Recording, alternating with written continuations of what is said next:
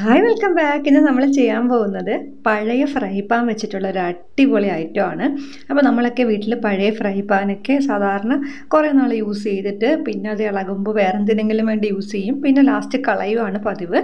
അപ്പോൾ അങ്ങനെയുള്ള fry pan എത്ര പഴയതായാലും കുഴപ്പമില്ല. അതിന്റെ പിടി ഉണ്ടെന്നുണ്ടെങ്കിൽ നിങ്ങൾ കളയരുത്. നമുക്ക് അടിപൊളി കിച്ചണിലൊക്കെ വെക്കാൻ വേണ്ടി അല്ലെങ്കിൽ ഡൈനിങ് ഹാളിലൊക്കെ വെക്കാൻ വേണ്ടിയുള്ള ഒരു അടിപൊളി ഐറ്റം ഉണ്ടാക്കാം. ഇപ്പോൾ ഈ ഒരു ഫ്രൈ പാൻ എന്ന് പറയുമ്പോൾ അതിന്റെ നോൺ സ്റ്റിക്ക് എല്ലാം ഇളകിപ്പോയി. എന്നിട്ട് ഞാൻ അടിയിൽ ബിരിയാണിയിൽ ചെമ്പ് വെക്കുമ്പോൾ ആ സമയത്ത് അടി കരിയാതിരിക്കാൻ വേണ്ടി അടിയിലൊരു താങ്ങായിട്ട് ഇത് വെച്ച് കൊടുക്കുമായിരുന്നു എന്നിട്ട് മുകളിൽ ചെമ്പ് വെച്ചിട്ടാണ് ദം ചെയ്തെടുക്കുന്നത്. അപ്പം ഈ ഒരു ഇതിപ്പോൾ ആകെ പോയിട്ടുണ്ട് ഇല്ലാതായിട്ടുണ്ട്. അപ്പോൾ ഞാൻ വിചാരിച്ചു ഇത് നമുക്കൊരു അടിപൊളി ഐറ്റം ആക്കിയിട്ട് മാറ്റിയെടുക്കാമെന്ന് അപ്പം ഞാനിപ്പോൾ അധികം ഇങ്ങനെ കുഴിയില്ലാത്ത പാനാണ് എടുത്തിരിക്കുന്നത് കേട്ടോ. കുഴിയുള്ളതാണെങ്കിൽ നിങ്ങൾക്ക് എടുക്കാം. ബാക്ക് സൈഡ് വേണമെങ്കിൽ യൂസ് ചെയ്യാം. ഫ്രണ്ട് വേണമെങ്കിൽ യൂസ് ചെയ്യാം. ഞാനിപ്പോൾ കുഴിയില്ലാത്ത ആയതുകൊണ്ട് നമ്മുടെ ഫ്രണ്ട് സൈഡാണ് യൂസ് ചെയ്യുന്നത്. അതുപോലെ ബാക്ക് ബ്ലാക്ക് കളർ അക്രിലിക് പെയിന്റും കൂടെ യൂസ് ചെയ്യുന്നുണ്ട്. അപ്പം ബ്ലാക്ക് കളർ അക്ലിക് പെയിന്റ് ഇല്ലെന്നുണ്ടെങ്കിൽ നമ്മുടെ ബ്ലാക്ക് കളർ സദാ പെയിന്റ് അല്ലെങ്കിൽ സ്പ്രേ പെയിന്റ് ഏത് വേണമെങ്കിലും യൂസ് ചെയ്യാം. അതൊന്ന് ബ്രഷ് യൂസ് ചെയ്തിട്ട് ഒന്ന് അടിച്ചു കൊടുക്കുക ഉള്ളിലേക്ക്. ഇതിന്റെ ഇപ്പോൾ ഞാൻ പറഞ്ഞില്ലേ നോൺ സ്റ്റിക്ക് എല്ലാം പോയതുകൊണ്ട് തന്നെ ഒരു അലൂമിനിയത്തിന്റെ കളറിലാണ് ഇരിക്കുന്നത്. അപ്പോൾ ഫുള്ളൊന്ന് കവർ ചെയ്തിട്ട് വേണം പെയിന്റ് ചെയ്തെടുക്കാൻ വേണ്ടിയിട്ട്. സ്പ്രേ പെയിന്റ് ആണെന്നുണ്ടെങ്കിൽ പെട്ടെന്ന് കഴിയും. ജസ്റ്റ് ഒന്ന് അടിച്ചു കൊടുത്താൽ മാത്രം മതിയാവും. ഇപ്പം ഇത് ബ്രഷ് യൂസ് ചെയ്ത് അടിക്കുന്നതുകൊണ്ടാണ് ടൈം എടുക്കുന്നത്. അല്ലെന്നുണ്ടെങ്കിൽ നമ്മുടെ സ്പഞ്ച് ഉണ്ടല്ലോ. സ്പഞ്ച് ഒന്ന് അക്രലിക് പെയിന്റിലോട്ട് ഒന്ന് മുക്കിയതിന് ശേഷം ജസ്റ്റ് ഒന്ന് ടച്ച് ചെയ്ത് കൊടുത്താലും മതിയാവും. എല്ലായിടത്തും പെയിന്റ് പെട്ടെന്ന് അങ്ങ് അടിച്ചു തീർക്കാൻ പറ്റും. ഇപ്പം ഞാൻ ബ്രഷാണ് യൂസ് ചെയ്യുന്നത്. എന്റെ കയ്യിലുള്ള സ്പഞ്ച് തീർന്നു പോയി ഫുള്ള് കവർ ചെയ്തിട്ട് വേണം ബ്ലാക്ക് കളർ പെയിന്റ് അടിക്കാൻ വേണ്ടിയിട്ട്. അതിന് മുമ്പ് നമ്മുടെ ചാനൽ ഇതുവരെ സബ്സ്ക്രൈബ് ചെയ്യാത്ത ആരെങ്കിലും ഉണ്ടെങ്കിൽ ഒന്ന് സബ്സ്ക്രൈബ് ചെയ്തിട്ട് ബെൽ ബട്ടൺ അമർത്തണം. എങ്കിലേ നിങ്ങൾക്ക് നോട്ടിഫിക്കേഷൻസ് ഒക്കെ കറക്റ്റായിട്ട് കിട്ടുള്ളൂ.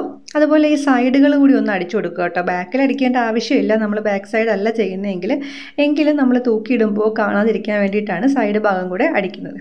കണ്ടോ? ഇനി ഇതൊന്ന് ഉണക്കാൻ വെക്കണം. പെട്ടെന്ന് ഉണങ്ങും. നമ്മൾ ചെറിയ ലെയറായിട്ട് ചെയ്തതുകൊണ്ട് തന്നെ പെട്ടെന്ന് ഉണങ്ങി കിട്ടും. അപ്പോൾ ഇത് ഫുള്ളായിട്ട് ഉണങ്ങിക്കഴിഞ്ഞതിന് ശേഷം മാത്രം നമ്മൾ ബാക്കിയുള്ള വർക്ക്സ് ഇതിനകത്ത് ചെയ്യാം. അപ്പം ദാ ഇതൊന്ന് ഉണങ്ങാൻ വേണ്ടിയിട്ട് ഞാൻ വെയിറ്റ് ചെയ്തു. പെട്ടെന്ന് തന്നെ ഇത് നന്നായിട്ട് ഉണങ്ങി വന്നിട്ടുണ്ട്. നമ്മളൊരു ലൈറ്റ് ലെയറായിട്ടാണല്ലോ കൊടുത്തത്. അതുകൊണ്ട് തന്നെ പെട്ടെന്ന് തന്നെ ഉണങ്ങിയിട്ടുണ്ട്. ഇനി നമുക്ക് നമ്മുടെ വർക്കൊക്കെ തുടങ്ങാം. അപ്പം അതിനായിട്ട് ഞാനിവിടെ ആദ്യം എടുത്തു വെച്ചിരിക്കുന്നത് ഒരു പേപ്പറാണ്. പേപ്പർ എന്ന് പറയുമ്പോൾ ഇത് ടേബിൾ ഷീറ്റിന്റെ ഒരു ഭാഗമാണ്. ഞാനിങ്ങനെ വളച്ച് കട്ട് ചെയ്തെടുത്തതാണ്. ടേബിൾ ഷീറ്റ് പേപ്പർ ടേബിൾ ഷീറ്റാണ് ഡിസ്പോസിബിൾ ആയിട്ടുള്ളത്. അപ്പം ഇത് വേണമെങ്കിൽ എടുക്കുക അല്ലെങ്കിൽ എന്തെങ്കിലും ലേസ് ഉണ്ടെങ്കിൽ ലേസ് വേണമെങ്കിൽ എടുക്കാം കേട്ടോ. ഇപ്പോൾ ലേസ് ഇല്ലാത്തത് കൊണ്ടാണ് ഞാൻ ടേബിൾ ഷീറ്റിന്റെ ഒരു ഭാഗം ഇങ്ങനെ കട്ട് ചെയ്തെടുത്തത്. പേപ്പർ ആയതുകൊണ്ട് തന്നെ സിമ്പിളായിട്ട് നമുക്കിത് ഒട്ടിച്ചെടുക്കാൻ പറ്റും. അപ്പോൾ ഞാൻ ഒട്ടിക്കാൻ വേണ്ടിയിട്ട് ഇതിൽ യൂസ് ചെയ്യുന്നത് വൈറ്റ് ഗ്ലൂ ആണ്. വൈറ്റ് ഗ്ലൂ അല്ലെങ്കിൽ പേപ്പർ ഒട്ടിക്കുന്ന ഏതെങ്കിലും ഗ്ലൂ വെച്ചിട്ട് നിങ്ങൾക്ക് നന്നായിട്ടിത് ഒട്ടിക്കാവുന്നതാണ്. ഒരുപാട് ഗ്ലൂ തേക്കാതിരിക്കാൻ ശ്രദ്ധിക്കണം. ജസ്റ്റ് ലൈറ്റായിട്ട് മാത്രം ഗ്ലൂ തേച്ചതിന് ശേഷം ഒട്ടിച്ചു കൊടുക്കുക. ഒട്ടിക്കുമ്പോൾ ഈ ഫ്രൈ പാൻ റൗണ്ട് ഷേപ്പ് ആയതുകൊണ്ട് തന്നെ ആ ഒരു ഷേപ്പ് മെയിന്റെയിൻ ചെയ്യുന്ന രീതിയിൽ വേണം ഈ ഒരു പേപ്പർ കട്ട് ചെയ്തിട്ട് എടുക്കാൻ. അപ്പം ഞാൻ എന്താ ഇതിലേക്ക് ഒട്ടിച്ചു കൊടുക്കുവാണ്. സൈഡിലേക്ക് ഒട്ടിക്കണം. ഒരുപാട് ബ്ലാക്ക് ഭാഗം കവർ ചെയ്തിട്ട് നിങ്ങൾ എന്ത് വെച്ച് ഒട്ടിക്കുവാണെങ്കിലും ഒരുപാട് കവർ ചെയ്ത് ഒട്ടിക്കരുത്. ആ ഭംഗി അങ്ങ് പോകും കുറച്ച് ഭാഗം മാത്രം ഒട്ടിച്ചു കൊടുത്താൽ മതിയാവും. കണ്ടോ ഇതുപോലെ ഒട്ടിച്ചിട്ടുണ്ട്. അപ്പം ഇത്രയും മതിയാവും. അപ്പം വേണമെങ്കിൽ നമുക്ക് താഴെ ഒരു ഭാഗത്ത് വേണമെങ്കിലും ഒട്ടിക്കാം. പക്ഷെ ഞാൻ താഴെ വേറൊരു സംഭവം വെക്കാൻ വേണ്ടിയിട്ട് മാറ്റി വെച്ചിരിക്കുകയാണ് അതുകൊണ്ടാണ് സൈഡിലേക്ക് ഒട്ടിച്ചു കൊടുക്കുന്നത്. അപ്പോൾ ഇനി നമുക്ക് വേണ്ടത് നമ്മുടെ ബാക്കിയുള്ള ഐറ്റംസ് അപ്പോൾ ഇതിന് വേണ്ടിയിട്ട് ഞാൻ കടയിൽ നിന്ന് വാങ്ങിച്ച പുതിയ ഐറ്റംസ് ഒന്നും ഉപയോഗിക്കുന്നില്ല. എല്ലാം വീട്ടിലുള്ള പഴയ ആക്രി പഴയ സാധനങ്ങളാണ് ഉപയോഗിക്കുന്നത്. പിന്നെ ഇതാ ഇതുപോലെ ലെറ്റ് സീറ്റ് എന്ന് പറഞ്ഞിട്ട് ഞാനിങ്ങനെ ഒരു ചെറിയൊരു ഡയലോഗ് പ്രിന്റ് ഔട്ട് എടുത്ത് വെച്ചിട്ടുണ്ട്. അപ്പോൾ ഞാൻ അതാണ് ഇതിലേക്ക് ഒട്ടിക്കുന്നത്. അപ്പോൾ ഇതുപോലെ എന്തെങ്കിലും ഡയലോഗ് നല്ല ഹാൻഡ് റൈറ്റിംഗ് ഉള്ളവർക്കാണെങ്കിൽ ജസ്റ്റ് വൈറ്റ് കളർ വെച്ചിട്ട് എഴുതി കൊടുത്താൽ മതി. അപ്പം എന്റെ ഹാൻഡ് റൈറ്റിംഗ് അത്ര പോരാത്തത് കൊണ്ട് തന്നെ ഞാനിത് പ്രിന്റഡ് ഒട്ടിച്ചു കൊടുക്കാമെന്ന് വിചാരിച്ചു. നിങ്ങൾക്ക് എന്ത് വേണമെങ്കിലും കിച്ചൺ റിലേറ്റഡോ അല്ലെങ്കിൽ ഡൈനിങ് റിലേറ്റഡോ എന്ത് വേണമെങ്കിലും എഴുതാം കേട്ടോ. അപ്പം എന്റെ കയ്യിലുള്ളത് ഇതായതുകൊണ്ടാണ് ഞാൻ ഇത് എഴുതി കൊടുത്തത്. ബ്ലാക്ക് കളറിൽ പ്രിന്റ് ഔട്ട് എടുത്തതാണിത്. അപ്പം ഇതും ഗ്ലൂ വെച്ച് ഒട്ടിച്ചിട്ടുണ്ട്. പിന്നെ വേണ്ടത് ഇതുപോലത്തെ ഒരു പ്ലാസ്റ്റിക് ബോക്സ് ഇത് നമ്മുടെ അക്രിലിക് പെയിന്റിന്റെ പെയിന്റ് വരുന്ന ആ ഒരു ബോക്സ് തന്നെയാണ് കേട്ടോ. അപ്പോൾ ഇതിന്റെ സൈഡിൽ കുറച്ച് ഹോട്ട് ഗ്ലൂ കൊണ്ട് തേച്ച് കൊടുക്കുക. തേച്ച് കൊടുത്തതിന് ശേഷമാണ് നമ്മൾ ഇതിലേക്ക് ഒട്ടിക്കുന്നത്. ഇപ്പം ഈ ഒരു ബോക്സ് ഇല്ലെന്നുണ്ടെങ്കിൽ നമ്മുടെ പേപ്പർ കപ്പ് ഉണ്ടാവുമല്ലോ വീട്ടിലൊക്കെ? പേപ്പർ കപ്പ് ഒന്ന് ബ്ലാക്ക് കളർ പെയിന്റ് ചെയ്തതിന് ശേഷം അത് യൂസ് ചെയ്യാം. അല്ലെങ്കിൽ വൈറ്റ് കളർ പെയിന്റ് ചെയ്തതിന് ശേഷം യൂസ് ചെയ്യാം. നമ്മൾ ബ്ലാക്ക് ആൻഡ് വൈറ്റഡ് തീം ആയതുകൊണ്ടാണ് ഞാൻ ബ്ലാക്ക് വൈറ്റ് പറയുന്നത്. അല്ലെന്നുണ്ടെങ്കിൽ നിങ്ങൾക്ക് ഏത് കളർ വേണമെങ്കിലും വെച്ചിട്ട് പേപ്പർ കപ്പ് ഒട്ടിച്ചു കൊടുക്കാം.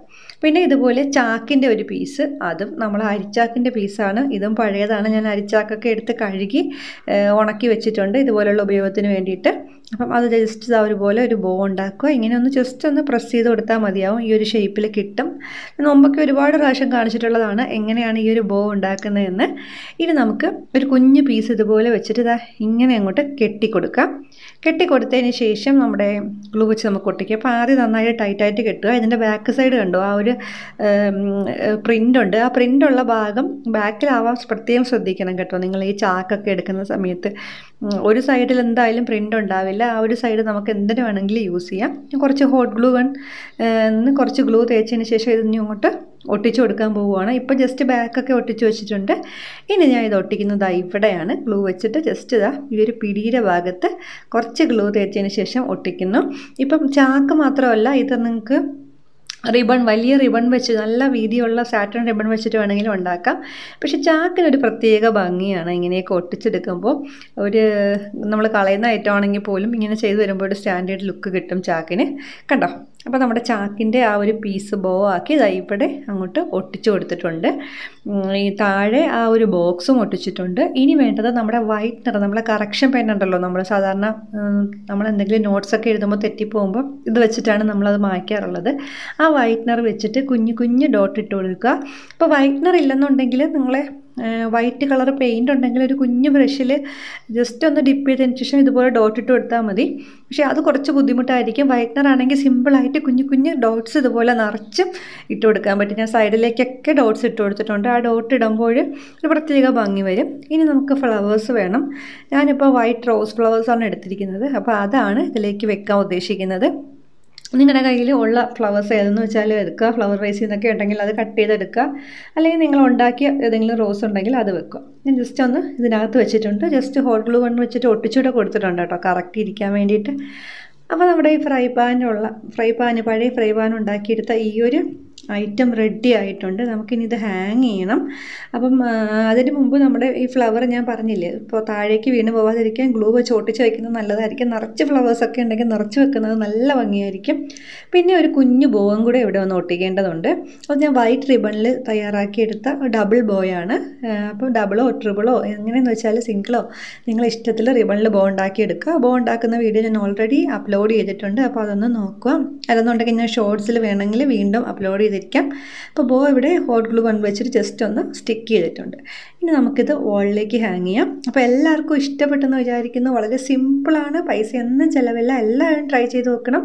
ഇഷ്ടപ്പെടുന്നുണ്ടെങ്കിൽ നമ്മുടെ ചാനൽ സബ്സ്ക്രൈബ് ചെയ്യണം. അതുപോലെ ലൈക്ക് ചെയ്യാനും കമന്റ് ചെയ്യാനും ഷെയർ ചെയ്യാനും മറക്കരുത്. താങ്ക്